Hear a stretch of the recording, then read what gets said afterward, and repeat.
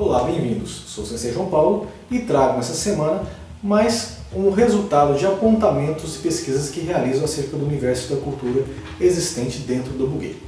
Nessa semana estou trazendo resultados de apontamentos relacionados ao tema Kurandená, a compreensão sobre o ponto de vista sobre a ótica do Shizen.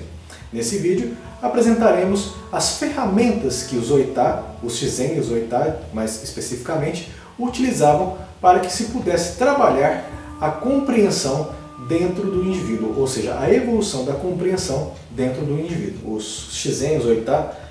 buscaram trabalhar ferramentas que pudessem ser exercitadas dentro do indivíduo como forma de melhoramento uh, contínuo dos aspectos de compreensão a qual que ele estava inserido, pois, como já dito anteriormente também, muitas vezes o indivíduo se encontra em um caminho de é, ilusão, em um, em um, universo de ilusão, e que demandará muita energia para que se, puder, se possa sair dessa ilusão e se encontrar em uma senda de lucidez. Dessa forma, os Oitai Shizen eles desenvolveram algumas ferramentas uh, que são orientadoras, que são norteadoras para que o indivíduo possa trabalhar cada vez mais a compreensão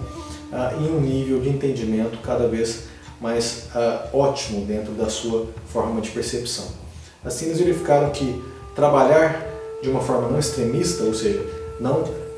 tratar um determinado ponto com postura firme e irrefutável, como já também já dito anteriormente, que é o que ocorre muitas vezes nos, nos tempos atuais, né? Uh, se buscar ou preto ou branco, ou certo ou errado, sem níveis de gradação entre, essas duas, entre esses dois polos, uh, consiste em algo que não é recomendado como um caminho de compreensão.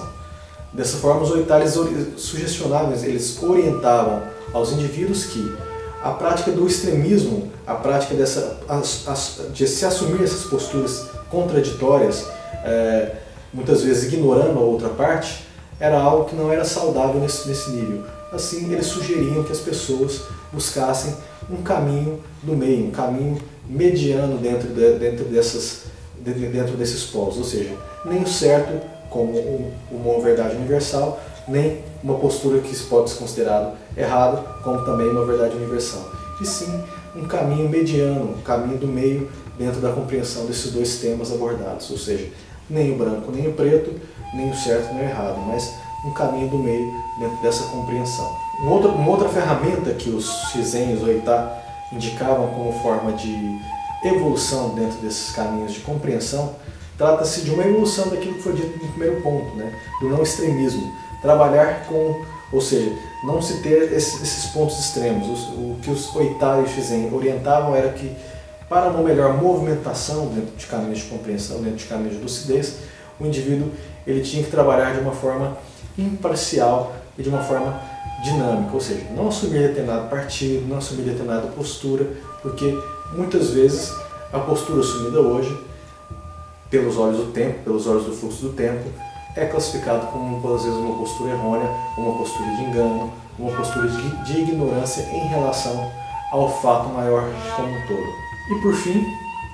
na busca de um entendimento sobre esse universo da compreensão, como resultado daquilo que, dos dois primeiros pontos que nós observamos, ou seja, como resultado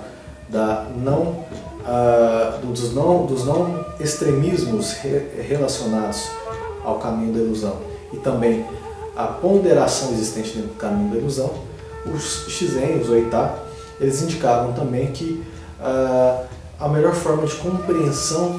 é que a dualidade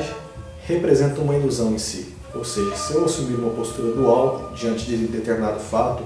ou uma postura uh, muitas vezes maciça diante de determinado fato, essa, aos olhos e às óticas do Shizen, dos Oitá, uh, assume-se como uma postura de ilusão, uma vez que a dualidade, bem e mal, alto, magro, preto, branco, né, ou seja, uma forma de exemplos, né?